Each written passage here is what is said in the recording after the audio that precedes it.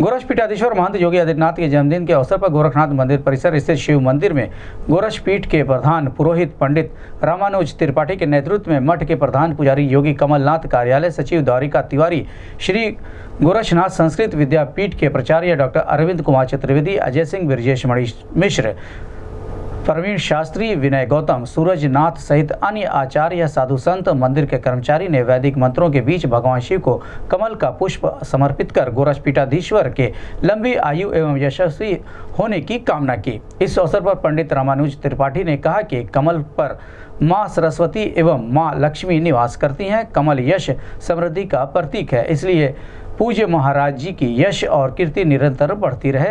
हम लोगों ने कमल के पुष्प से पूजन अर्चना किया। हम सभी कामना करते हैं कि शिव अवतारी गुरु गोरक्षनाथ की परंपरा को आगे बढ़ाते हुए योगी आदित्यनाथ ने जिस तरह से समाज के हर व्यक्ति के उत्थान का काम किया है, हम उनकी दीर्घ आयु की कामना करते हैं।